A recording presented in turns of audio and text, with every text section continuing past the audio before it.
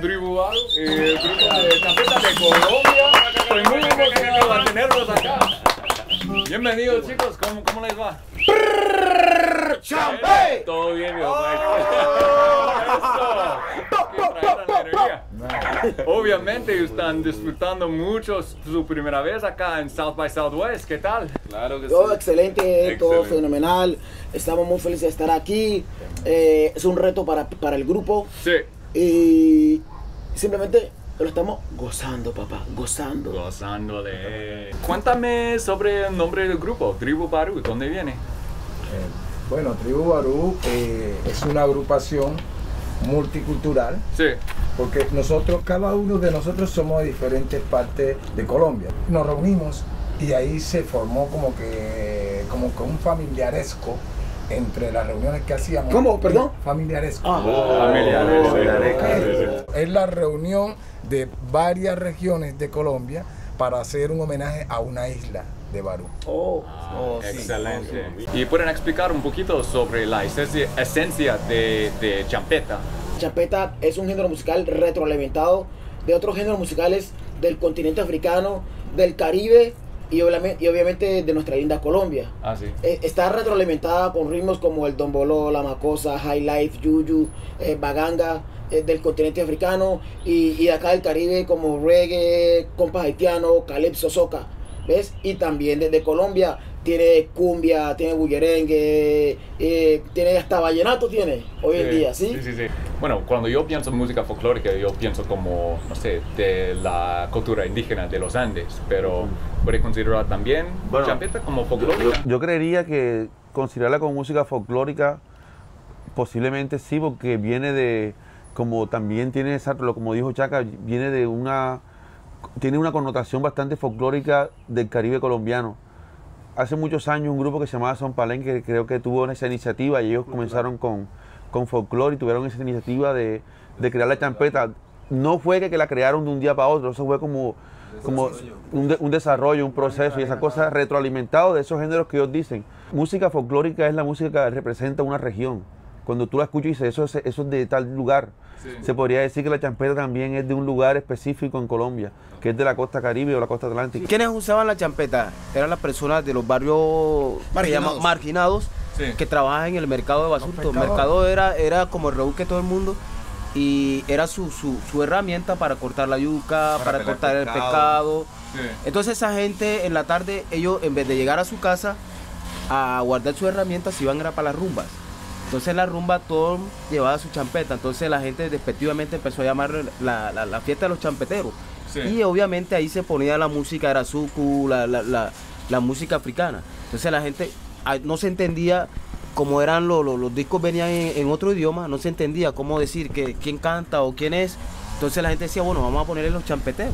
Aparte, después de la palabra despectiva, Sí, nació el baile, Sí. la forma de bailar. Sí, también. Antes de, de la música, Sí. la forma de bailar existía de, antes. de champeta, Sí. después de una palabra despectiva, se formó como una forma de baile movimiento. y sí. después la música. Sí. El picó, el picó es un, un, un equipo de sonido grande para poner, para poner lo- lo- las canciones. En, en- en este sentido, la champeta. Que en todo el Caribe, en todo el Caribe está el picó. Que allá, ejemplo, en Jamaica, en, en Trinidad y Tobago, en Bahamas, en Barbados lo llaman sound system. Sí. O sea, y todo esto picó en, en- en- en la costa norte colombiana juega un papel importante en el, en el desarrollo de la champeta.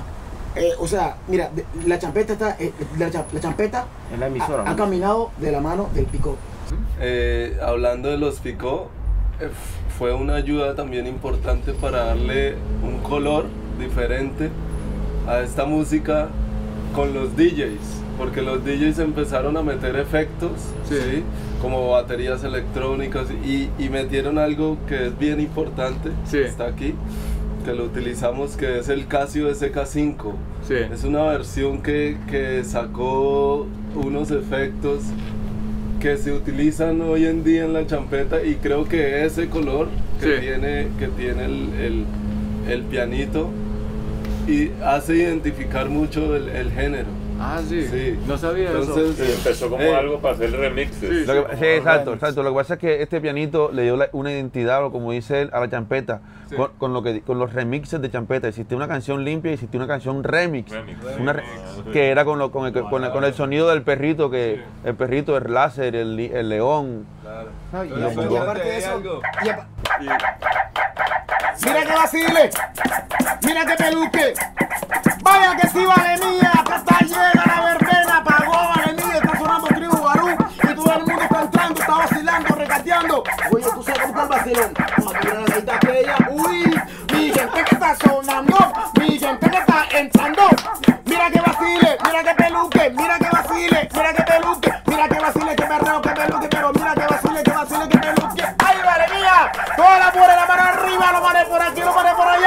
Pagó. ¡Qué detonación, papi! Yes. Han colaborado con músicos de, de otros países. ¿Y cómo, cómo era la experiencia? Muy, muy bonita. Eh, en el primer álbum eh, tenemos una colaboración con Diblo Dybala, que es del, del Congo, Sí. de la República del Congo. Y la experiencia fue chévere. Diblo, que venía de República del Congo, como dice Pocho, tiene una trayectoria inmensa en el suco, es uno de los pioneros. Se puede decir que uno de los guitarristas más relevantes que ha dado esa tierra.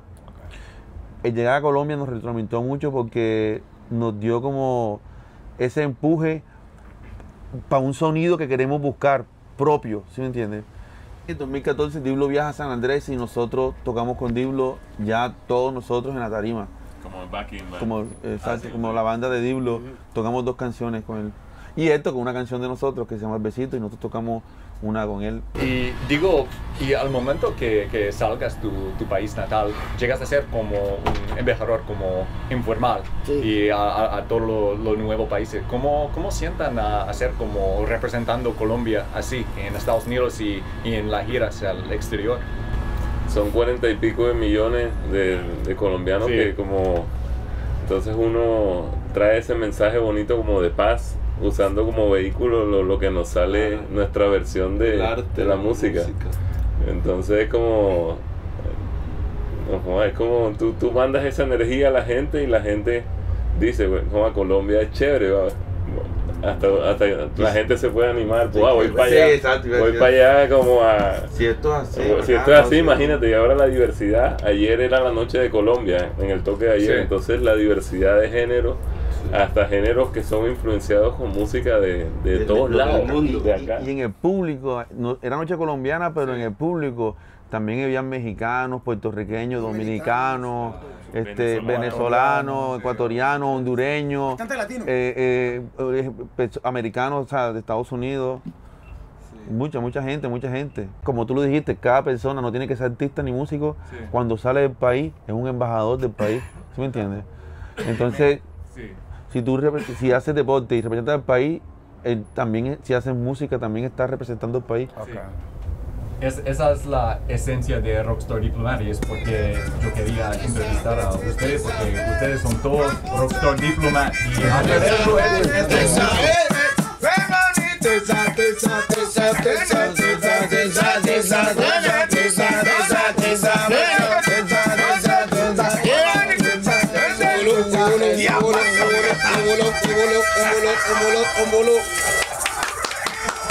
es, una canción tejana.